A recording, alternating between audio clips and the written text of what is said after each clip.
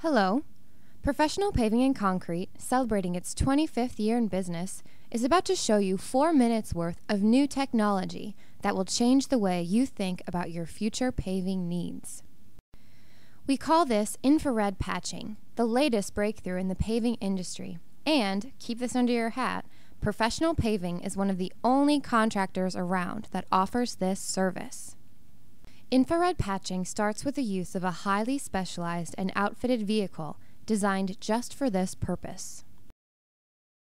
A large heating element is attached to the rear of the truck which heats the pavement, but I'll show you more about that in a minute. In addition, there are multiple heating chambers that store and transport up to 4 tons of asphalt materials, all while maintaining a consistent temperature ready for your paving project. Okay, now follow me outside and we'll get a first-hand look of infrared patching as it happens. Before we start, let me briefly point out some of the advantages and benefits in using this process. Depending on air temperature, the entire process takes from 10 to 20 minutes. If you consider this over the old traditional method, your downtime is dramatically cut. There is the added convenience of completing repairs during the off hours, particularly when asphalt plants are not operating. Quality, quality, quality. No new cold joints are created, therefore, no open seams between the old pavement and the new infrared patch a seamless operation. And because there is less labor involved and the process is materially less intensive, it's just a given that infrared patching is very cost effective. So, step one. Here we see the heating element being lowered onto the area that is going to require patching. The heating of the pavement is the most crucial part of the process. Now, in step two, we'll see the heated area being prepped by squaring or scarifying the area and removing some, not all, of the old material. Not removing all the material is what makes this process an eco-friendly process for your pavement.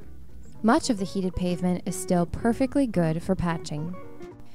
Next, in step 3, new asphalt that has been stored in our heated chambers from the truck is added. Remember, we can store 4 tons of material in one truckload. The new material is put on the patch and distributed evenly to the seams. Then, we continue working the new material by leveling and squaring off the newly formed patch on all sides. Finally, we'll bring in the roller to compact the material and finish off the patch. This will be traffic ready within a few minutes of rolling. Pretty efficient, wouldn't you say?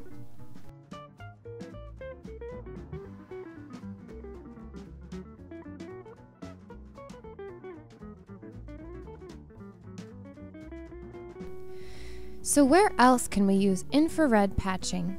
How about repairing potholes and deteriorated surface areas, eliminating depressions and water retention holes, achieving a smooth blacktop at transition joints, and repairing newer pavement without saw cutting.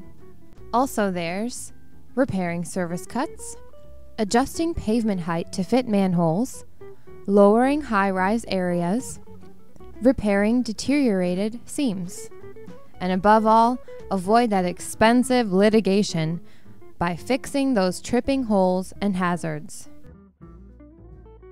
We hope this helps you see exactly what infrared patching can do for your paving needs.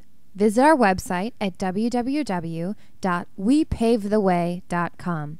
Or better yet, give us a call for more information. And thanks for coming along.